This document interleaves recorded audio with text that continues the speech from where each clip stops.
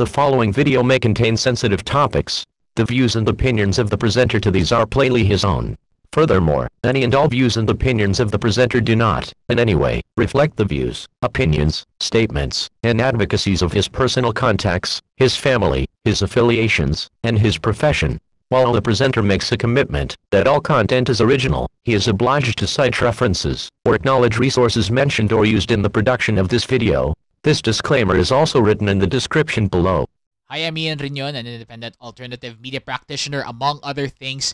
And uh, I really don't want to do this kasi sobrang nababurnout din ako sa naging ano ko, naging experience ko sa pagbabike.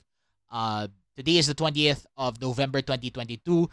Uh, yesterday was the 19th and it rained so fucking hard. Sorry for the uh, sorry for the the expletives. But I'm gonna keep that kasi uh, you know mga kababayan, if you know me and my previous videos, I have been not really morally invested, but I have followed the case against Nico David by a certain guy a guy a certain guy named uh, Mark Jason Warnakulahewa aka Makagago and um and uh Jonah Jonah Jacob. I'm not sure Jonah Renz Jacob aka Jonah in Spanish. 200 years.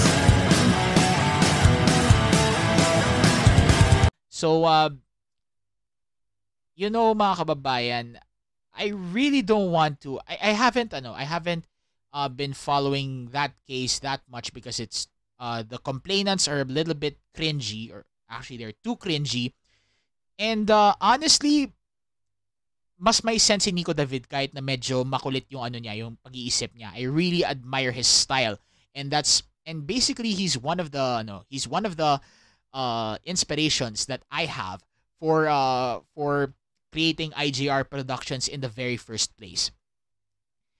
And so uh back in 2020 when I when I uh, realized that uh MG is gonna is gonna sue Nico David for uh for the things that he has said online. I mean what's the point, 'di ba? I I just don't find any merit, any merit whatsoever kung bakit bakit siya magsasampa ng kaso. Is it because meron siyang datong? That's uh, is that it? Uh, that's just me ah. Parang tinatanong ko lang sa sarili ko. And um, I think it was also ano, it was also uh, triggered by uh by Nico David's um semi-parody of uh, PewDiePie's uh, Bitch Lasagna uh, na ginawan ko rin ng ano, ginawan ko rin ng uh, sarili kong parody na parang tinama ko lang din yung or um inayos ko lang din yung ano, yung um yung yung pagkakagawa ni ano ni Sir Nico. But uh, as of the moment, I have uh, I have uh, put it on hold. I've put it on private so hindi niyo makikita 'yon. Uh, since uh, since uh, nandun pa yung kaso, kumbaga the case was uh, ongoing at that point kaya ayoko maging ano, ayoko uh, uh, for legal reasons and for uh, maybe for ano na rin for uh, my own uh, peace of mind eh inano ko muna nila ito uh, nilagay ko muna sa ano sa um nilagay ko muna sa private. And uh, basically I've just ano I've just uh, waited for the case to ano to um to reach a decision. And reach a decision it did. Uh as I am recording I have watched uh Sir Nico's uh ano yun? Uh his uh, his uh, latest or most recent video. And he is not guilty. I mean, um, I was, ano, I was, uh, I was confident na talagang parang walang ano eh, walang, wala akong ma- maisip or sabihin na natin eh, sobrang babaw lang ng ano, ng mga dahilan na pinresenta sa korte. Kaya na, na, ano siya, parang cyber libel and all that shit. I am no lawyer. I do not intend to uh, interpret this on a legal basis. I will let the barristers do that. I am here to celebrate with Sir Nico David. And one way of uh, celebrating that is by singing a Tagalog cover of the German folk song Die Gedanken sind frei or thinking is free. Now, context, uh, a little bit of context kung bakit ko tin-translate to. Uh, nung nalaman ko na parang kinasuhan si Ni- Sir Nico, I was thinking, I should, ano, I should make this uh, as a, in solidarity to him. Pero nakalimutan ko ng i-record, nakalimutan ko ng anuhin, pero tin-translate ko na. Now, the translation is not really di- uh, direct to German. Uh, I don't sprechen Deutsch. Um, I'm not. I don't speak German.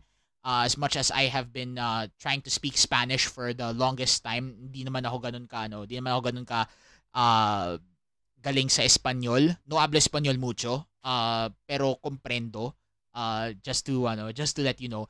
And napansin ko lang naman din na or uh, it's common knowledge na magpinsan ang Ingles at Aleman. So I was uh so uh translating this from the uh from the English version or at least ano uh multiple English versions just to ano just to uh see uh the the exact meaning of the German and uh adapting it into uh into poetic Tagalog uh it is ano it is really ano it's it's really something that I uh really try to uh, uh make an impression for this uh for this translation translation. And uh pagpasensyahan nyo na mga Lingling wannabes I am a Lingling wannabe. I sub I subscribe to Two Set Violin. I have uh I just uh, congratulate them uh, on their uh, 4 million 4 million subscriber concert uh kamakailan lang noong November 16 I'm Voice Gang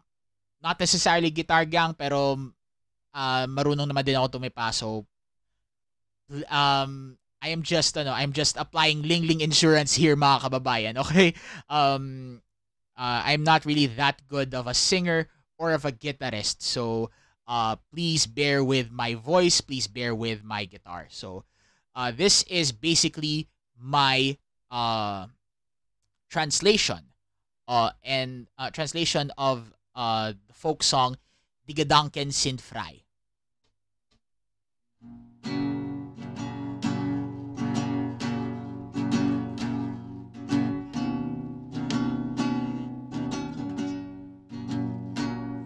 Die Gedanken sind frei, isip ko'y malaya. Lakas niya'y tunay, lipad niya'y dakila. Pantas mga ngaso, Lumani at palasoy, walang ang saysay, tigadangken sinfray. Lipad ng isip, duwa kong ang tangan, aking sasagip, bilang kayamanan, hindi mauusig ng harit manlulupig, yaman kong tunay, tigadangken sinfray. At kung mamalasin na ako'y mabilanggo, di masisiil isip ko at puso, pagkat maaaring pitay wasakin, layang ay tutaglay, Digedanken sin frei, layang ay taglay, digedanken sin frei.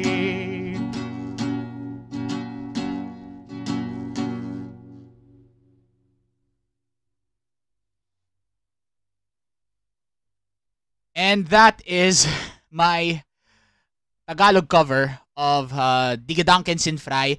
Um, again, I am applying Lingling Insurance here, so please uh be kind in the comment section, please lang. anyway, um shout out kay Sir Nico David. Um honestly, I created this translation nung nalaman ko na kinasuhan siya.